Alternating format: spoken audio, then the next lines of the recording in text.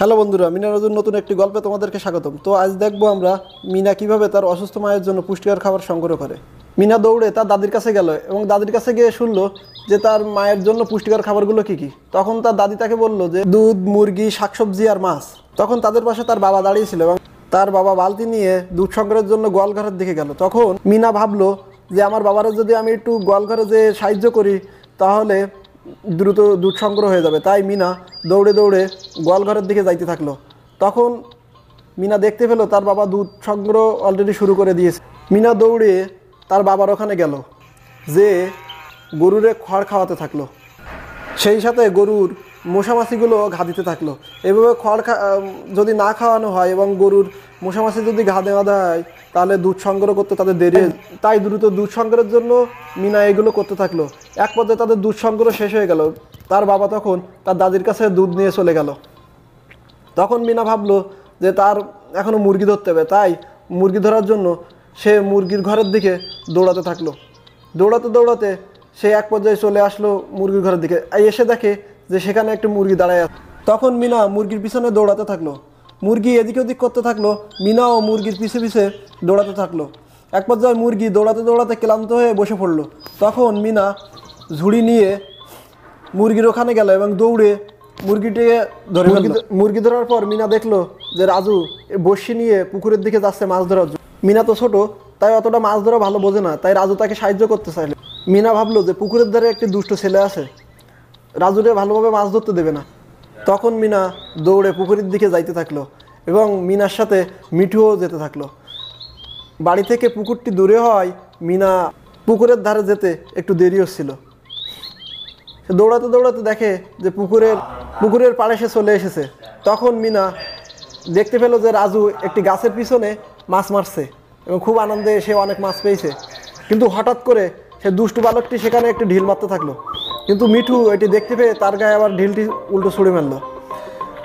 বারবার ছেলেটি এইভাবে ঢিল মারতেছিল এবং মিঠু বারবার তার গায়ে আবার ঢিল ওদিকে মিনা রাজু সুন্দরভাবে মাছ ধরতে থাকে। এদিকে ছেলেটি যতবারই ঢিল মারছে, মিঠু ততবারই উল্টো তাদের তার গায়ে আবার ঢিল মারতেছে। এইভাবে তাদের এক পর্যায়ে তাদের মাছ ধরা শেষ হয়ে গেল। তখন রাজু মাছ নিয়ে তার দাদির ওখানে চলে গেল। এদিকে মিনা হঠাৎ দেখতে পেল তার বাবা ওখান দিয়ে বাজারের দিকে সাইকেল নিয়ে যাচ্ছে। তখন মিনা তার বাবারে ডাকার চেষ্টা করল। কিন্তু যতক্ষণে মিনা ডাকছে ততক্ষণে তার বাবা অনেক দূরে চলে গেছে। তখন মিনা নিজেই বাজারে যাওয়ার জন্য রওনা হলো। কারণ তার বাবা জানে না যে কি কি সবজি তার মার জন্য লাগবে। সেজন্য মিনা নিজেই দৌড়াতে দৌড়াতে বাজারে বাজারের দিকে যাচ্ছিল। কিন্তু এটি সাধারণত ছিল গ্রামের রাস্তা। তাই গ্রামের মানুষ রাস্তার আশপাশ দিয়ে কাঠ খড় এবং পাথরও ফেলে মিনা দেখে শুনে সেগুলো সাবধানের সহিত চলতে থাকল। অবশেষে সে বাজারে চলে আসলো। বাড়ি থেকে বাজারটি দূরে হয়, মিনার অনেক দেরি হয়ে গেল। তখন হঠাৎ করে মেঘ হয়ে আসলো এবং অন্ধকার হয়ে আসলো। মিনা দেখতে পেল তার বাবা সবজির দোকানে ওখানে দাঁড়ায় আছে। তখন মিনা দৌড়ে সবজির ওখানে গেল এবং তার বাবারে বলল, একটা পাতাকপি, একটা লাউ আর একটা কুমড়ো নিতে। তখন তার বাবা, একটা পাতাকপি, একটা লাউ আর একটা তারপর মিনা দৌড়ে তার বাবা সাইকেলের পিছনে ওঠার জন্য গেল এবং তার বাবা সাইকেলে প্রথমে ওঠার পরে সে উঠল। তার বাবা মিনাকে নিয়ে সুন্দরভাবে সাইকেল নিয়ে যাইতে থাকল। কিন্তু হঠাৎ তখন ঝড় শুরু হয়ে গেল। ঝড় শুরু হয়ে গেলে মিনার বাবা তাও হাট ছাড়লো না। হাল না ছেড়ে তার বাবা সুন্দরভাবে সব রাস্তা দেখে শুনে চালাতে থাকল এবং মিনার বাবা ভাবলো যে আমি যদি সবজি না নিয়ে বাড়ি রান্না হবে না। এবং মিনার অসুস্থ মা ও খাইতে পারবে না।